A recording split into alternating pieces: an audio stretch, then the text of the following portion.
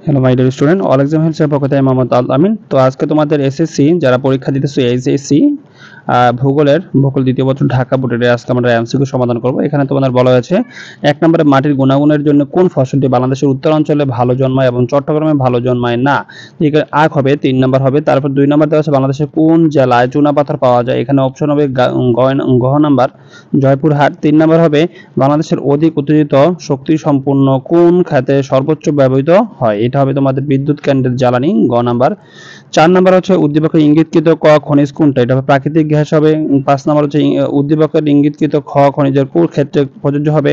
তোমাদের এক নাম্বার আর তিন নাম্বারটা উত্তর হবে। ছয় নাম্বার দেওয়া হচ্ছে বিশ্বের শীর্ষ তরল শক্তি সম্পন্ন উৎপাদন দেশ কোনটি? এটা হবে সৌদি আরব। তারপর হচ্ছে তোমার সাত নাম্বারটা শিল্প স্থাপনার প্রাকৃতিক নিয়ামক কোনটি হবে? এটা হবে জলবায়ু হবে।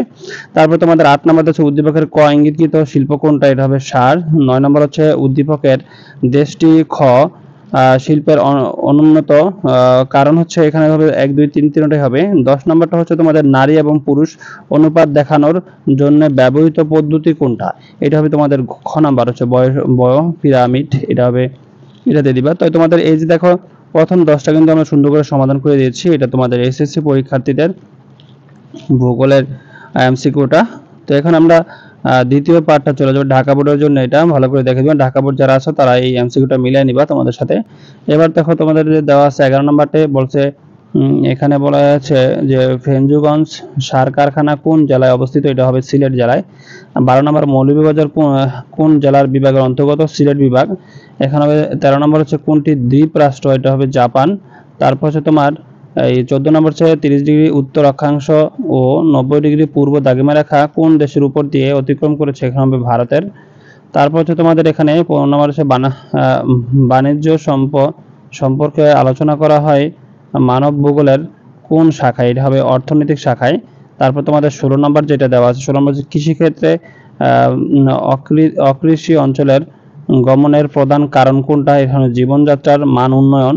আর হচ্ছে তোমাদের এখানে হচ্ছে সতেরো নম্বর উদ্দীপকের ক স্থা স্থানে জনসংখ্যার বন্টনের ধরন কোনটা হবে? অতি নিবিড় হবে। আঠারো নম্বর হচ্ছে উদ্দীপকের খ স্থা স্থানে জনসংখ্যা কম হওয়ার কারণ হলো এখানে দুই আর তিন নম্বর অপশনটা হবে। তারপর দেওয়া আছে, দেখো, পৃথিবীর সর্বদক্ষিণে অবস্থিত মহাদেশের ক্ষেত্রে প্রযোজ্য কোনটি?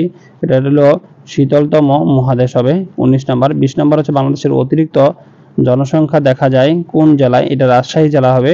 আর হচ্ছে একুশ নম্বর হবে ক বিশ্ব এবং দ্বিতীয় বৃহত্তম মহাদেশ। এই মহাদেশের রয়েছে হচ্ছে দুই আর তিন নম্বর অপশনটা হবে। তারপর বাইশ নম্বর দেখো, বিশ্বের জনপ্রিয় পানীয়টি চাষের অনুকূল পরিবেশ কোনটি হবে? এটা হবে এই চাষযুক্ত উচ্চভূমি এটা গ নাম্বার হবে।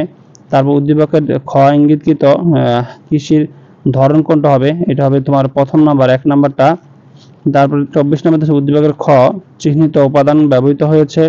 উৎপাদন হয়, তোমার এখানে হবে দুই আর তিন হবে। তারপর আখ চাষের কোন কোন ধরনের ভূমি উপযোগী হবে? এটা সমতল ভূমি। এই ছিল তোমাদের পঁচিশটা নৈবিত্তিক তো ভিডিওটা ভালো লাগলে লাইক, কমেন্ট শেয়ার করতে ভুলবে না। এরকম প্রতিটি আপডেট পেতে আমাদের ফেসবুক পেজ এবং আমাদের ইউটিউব চ্যানেলটা সাবস্ক্রাইব করে রাখবেন। আজ এই পর্যন্তই। পরবর্তী ভিডিওতে আবার দেখা হবে। আল্লাহ হাফেজ।